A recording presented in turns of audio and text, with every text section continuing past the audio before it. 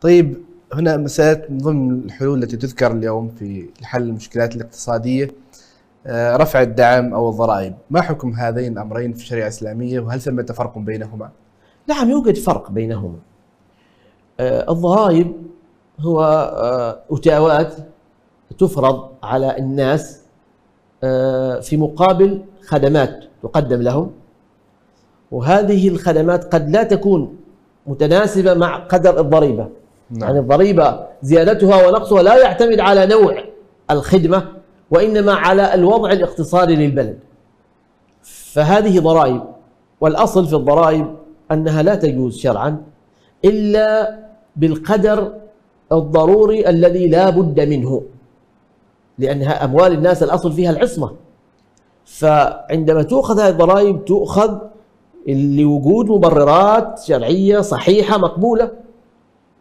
كأن تكون الخدمة المقدمة معادلة لهذه الضريبة أو تكون الدولة تمر بظروف صعبة مع افتراض وجود يعني التسوية ووجود الضوابط الشرعية الأخرى فتفرض ضرائب لإنقاذ الأمة أو للخروج من تلك من ذلك المأزق نعم. ففي مثل هذه الحالات يجوز شرعا فرض الضرائب آه، أما رفع الدعم فأن توجد خدمات لها قيمة معلومة ولكن الحكومة أو الدولة من باب آه، رفقها برعاياها تتحمل جزءا من هذه النفقات.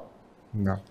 وبعض الناس يقول يعني آه، الأصل أن ترفع يرفع الدعم وأن وأن يحصل الإنسان على المنفعة بقيمتها. ويقول هذا ربما أفضل للاقتصاد. صحيح هو صحيح من جانب لكن علينا أن ننظر إلى الخلل الواقع أولا.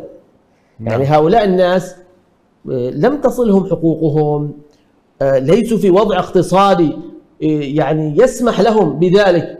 فإذا أردت أن تطبق هذا الأمر أولا حسن المستوى الاقتصادي للناس وضعهم في مستوى جيد يجعلهم يقدرون على تغطية هذه المتطلبات. أما من من هنا وضعهم صعب ومن هنا ترفع عنه الدعم فهذا هي إنما هو مضاعفة الضرر الواقع عليهم. نعم أيضا هل هذا الأمر يقال أيضا في الضرائب نفس الشيء؟